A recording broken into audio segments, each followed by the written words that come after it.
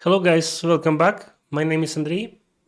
Uh, this week I was busy working on preparing um, my own dataset uh, for Donut fine-tuning.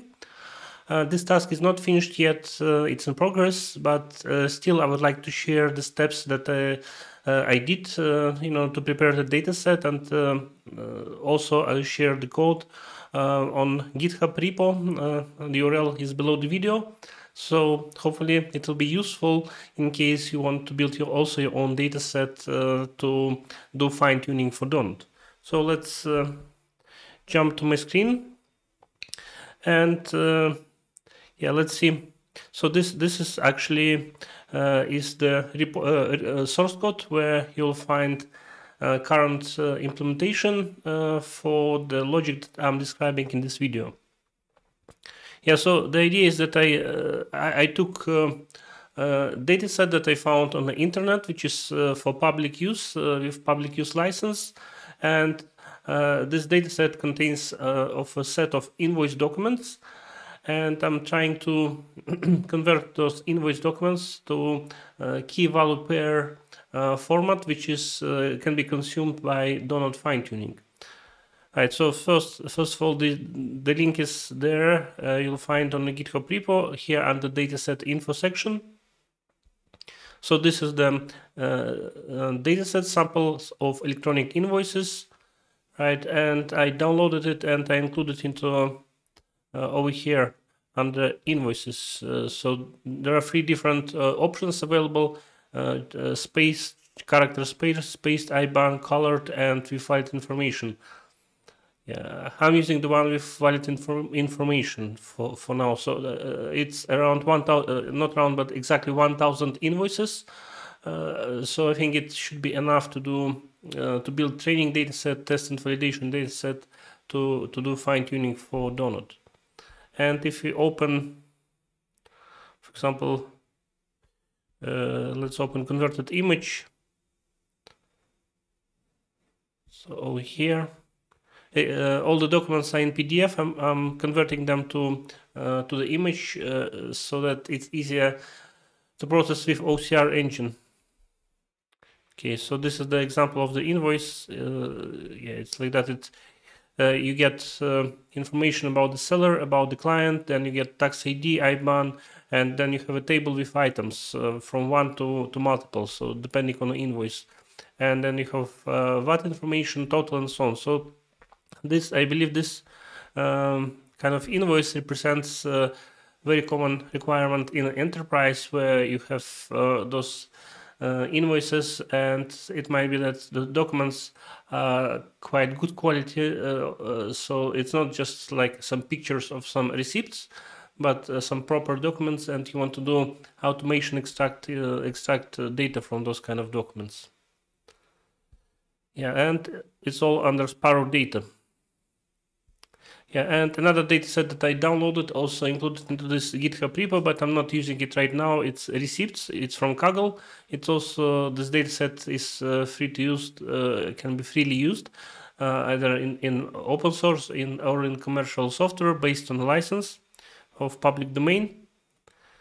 And this this dataset is also interesting because it contains uh, different type of uh, documents like uh, receipts from the restaurants then some uh, receipts for the public transportation uh, which is a different format than uh, payments for the hotel and also it comes in different languages not only english but also other languages. So that's quite useful as well. Okay so that's about the code structure and now let's look into the uh, actual implementation that i have up, up, up to now so uh, yeah, as I mentioned, you'll find uh, in GitHub Sparrow data, and there's another model called Sparrow UI. So Sparrow UI implements uh, frontend with Streamlit. Uh, it implements uh, frontend interface to interact with the uh, Sparrow, and in future I'll put more functionality there. And then Sparrow data is a separate model which relates to data processing. And in a README, you'll see all the instructions, uh, how to install requirements, dependencies. Also, you'll need to install um, OCR engine uh, and also it you need to install PyTorch because uh, OCR engine is using PyTorch's dependency and so on. So all the list is there in the README. So there are two entry scripts, run OCR and run converter. So the, the idea is that in the first step, uh, because we are working with those PDF invoices, right?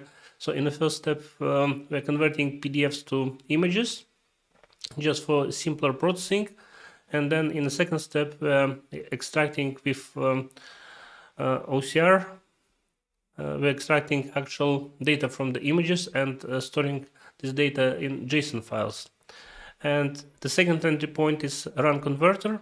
So uh, task of, for the converter is to translate um, uh, JSON data that was produced by OCR engine into the format which is uh, suitable for Sparrow annotation tool uh, so that later in a later stages um, uh, during human review we'll be able to load uh, this uh, extracted data uh, into annotation tool and human will do review and will do mapping key value pair mapping will identify um, total field will identify address will identify item description which will be probably multiple lines and assign to all those multiple lines the same key.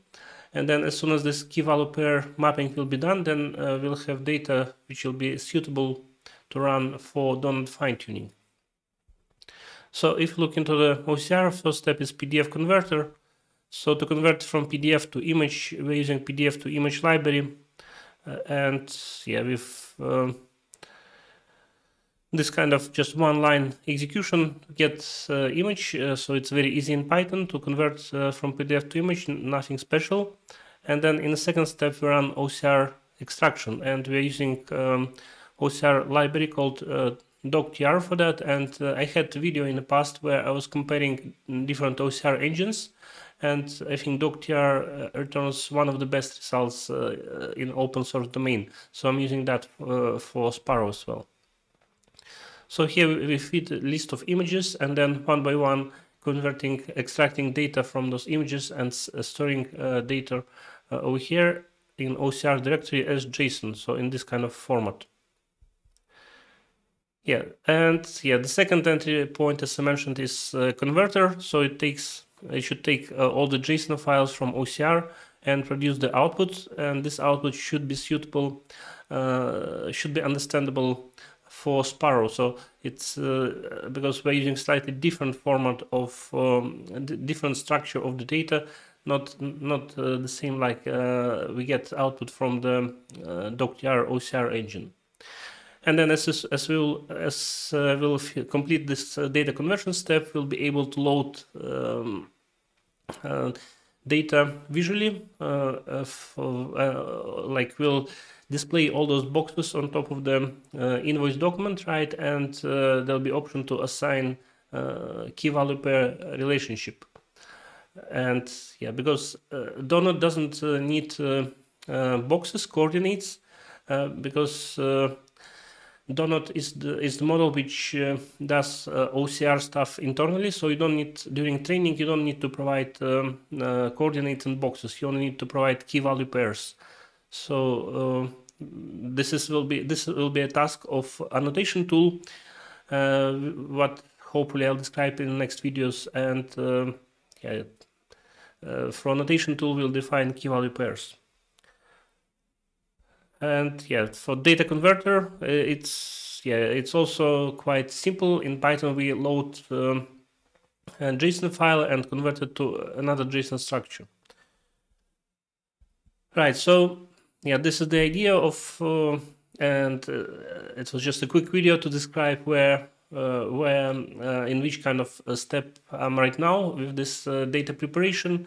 So uh, yeah, I'm very happy that I managed to find a very nice open data set, which is not used in any other examples related to either layout LM or donut fine tuning and uh, because this will be like an exercise working on actual uh, data and uh, see how it works to prepare data set and how it would work to prepare to do fine tuning of donut model on my own actual uh, data set which uh, probably later I'll use uh, for our customers So thanks for watching and see you next time. Bye.